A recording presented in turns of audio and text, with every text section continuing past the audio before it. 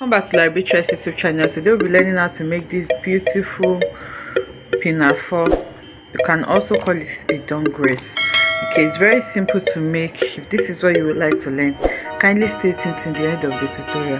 Thank you. To LarryB youtube channel today we'll be learning how to make a kit pinafore or some people call it dungarees so you can actually adapt this method to make for an adult also. And for this i need just two measurements which is my round waist measurement the round waist of the person wearing this that's where they'll place the skirt or the pinafore and also the length of the pinafore okay? So the round waist i'm working with is 20 inches and the length is 12 inches. For the length i'll be adding one inch allowance which is going to make it 13 inches. And for the round waist because i want some pleats I won't be cutting exactly using my 20 inches measurements. I'm going to add 10 inches to it so that to give me enough room to pleat, to add extra pleat. So if I add 10 inches to 20, it's going to give me 30 inches.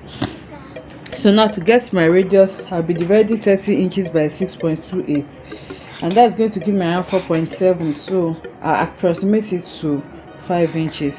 So it means my radius, my radius is going to be 5 inches and then my length is going to be 13 13 inches including allowance. So you can watch my video on how to draft different types of of flare for better understanding. So this is a full flare which means i'll be folding the fabric into four. And i already did that. So if you want a half circle flare you can fold your fabric in a triangular form. It doesn't have to be a full flare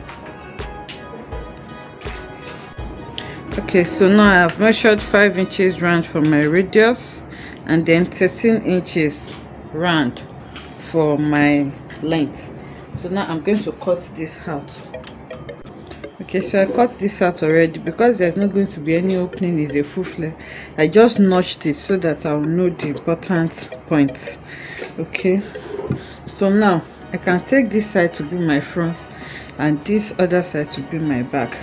And then i'll be adding just little little pleats. I'll add the pleats before i had my band my battery sorry i forgot to mention that this skirt is going to be having a band. So ideally before you cut out your skirt if you are adding like a one inch band you need to remove that one inch from the length of your pinafore because the band will also make up part of your pinafore. So now i'll be adding a one inch band to this. So i'm just going to trim out the one inch from my hemline because i forgot to do that when i'm drafting okay okay so i've trimmed it off now. And i'll be labeling this front part as my front. So now i'll take it to the to the machine now. And then try to add some maybe inverted plates or just normal plates to heat before i add my band. So for my band i cut out two fabrics of okay it's three inches wide and it's 28 inches. This is on fold 28 inches in length. I made it two separate fabric. Remember i can actually put it on fold for my band but i made this cut out because you know it is a pinafore which means it's going to be having a suspender. And i don't want my suspender to be showing. So i want to try to just sandwich. Once i turn in my suspender i want it to sandwich it i want to sandwich in between the band so that by the time I finish it the edges of the suspender will not be showing outside. And I also cut a suspender of around 20 no, let me see. Okay around 23 inches. And then the width is 4 inches. So now for the suspender I cut it on fold which means I'll take it to the machine now and then sew it like this before i turn it out. So i cut two of each remember we'll be having suspender and the measurement for this you can actually measure it on your client. It can be a just straight down suspender or the one that will have a crisscross at the back whichever one you choose to use. But i'm sure by the time i finish turning everything out now will understand it better when i bring it back to explain to us. So now basically i'm going to add pleats to this and then i'll turn in my suspender and then sandwich it into the band before i add my band to the skirt. Okay so basically let me quickly explain what i'm doing. I i sew my suspender and turn that turned it out like i explained. So now i'm bringing it to the band so that i can put it inside. You can see i've put placed it inside the band and i've pinned it like i said because i don't want the rough edges to be showing. So now to do this i just put my band together and then notch it on the center fold.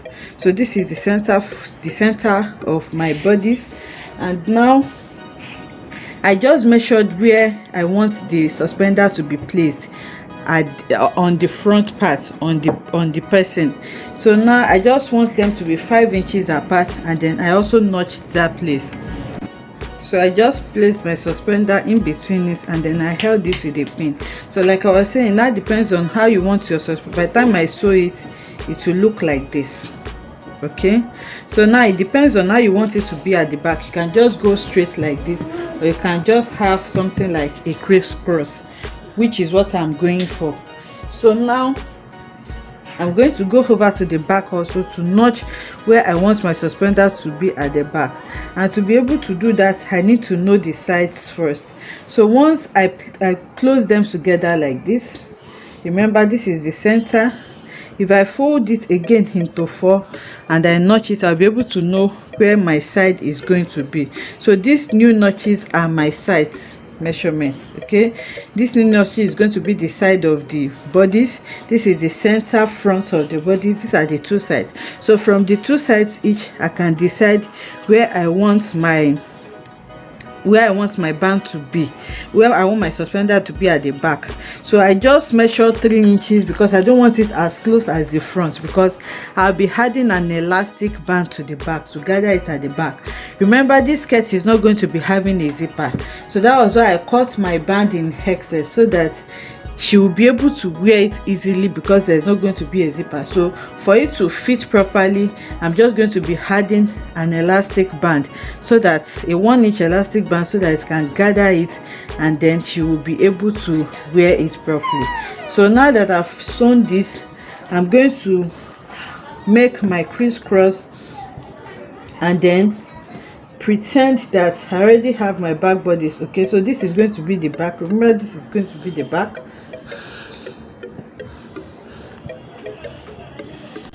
so okay it kept shifting so i just went ahead to hold it with a pin so that i can fold it over how it's going to be when i sew it.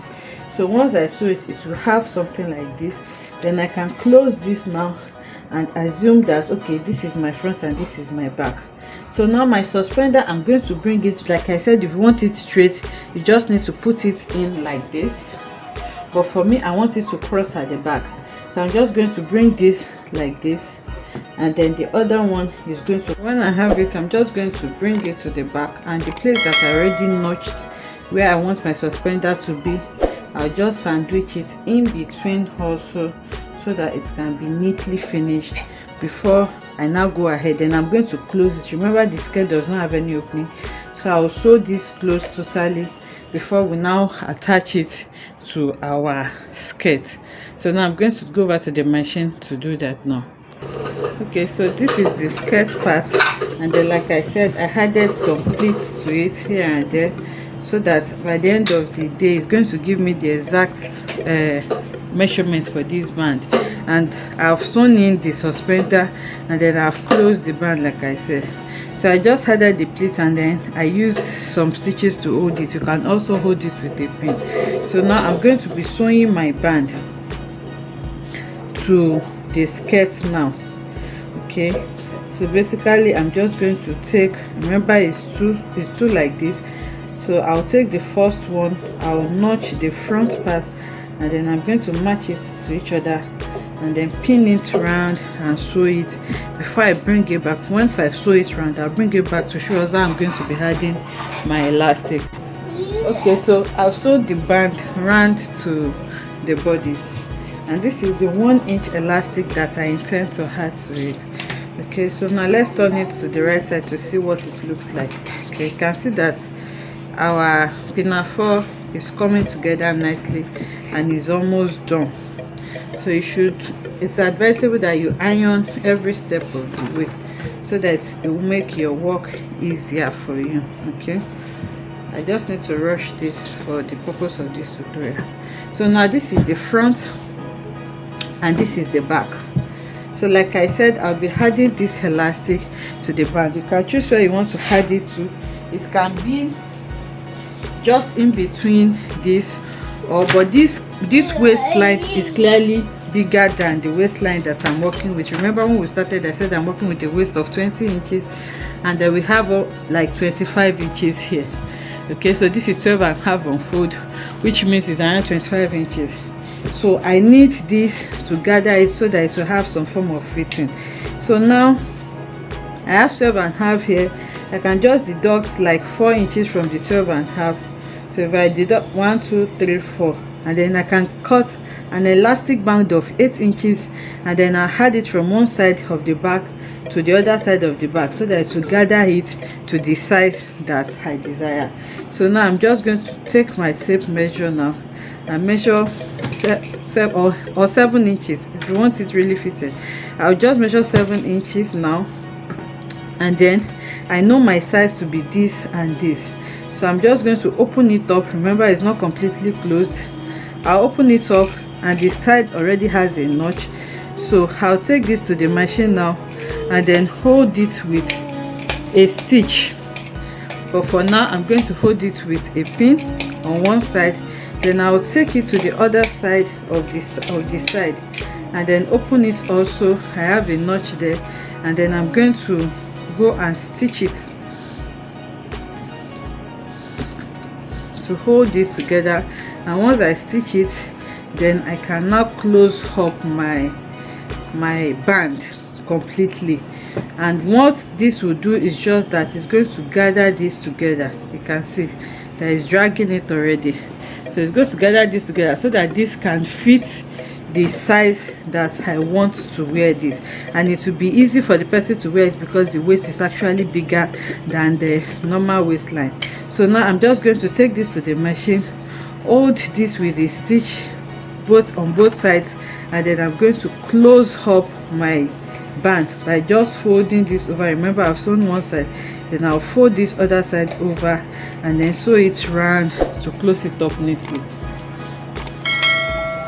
Okay so the band is closed now. Everything is neat both inside and out. As you can see there are no rough edges.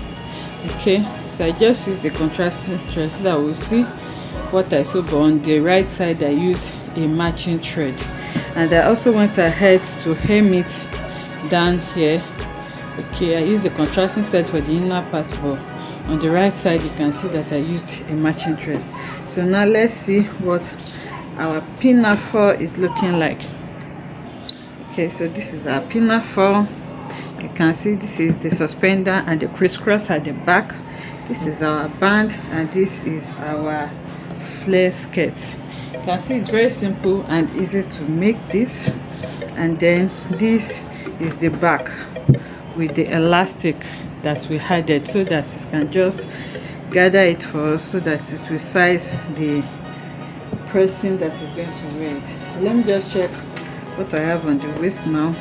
And it's around nine and a half inches and i need 10 inches but the good news is it can stretch more which is good so now like i said the measurement for your suspender is advisable to measure it on the person that is going to wear it so that you have your accurate measurements but if you cannot get the person that is wearing it just in case you cut too much so that will not be too slack what you can do again is just to add maybe an elastic at the back side just to gather it for you so that it can fit properly. So that is the end of our tutorial let us know if you enjoyed this tutorial or any challenges you may encounter when you are making it. Thank you for watching. See you in the next one. Bye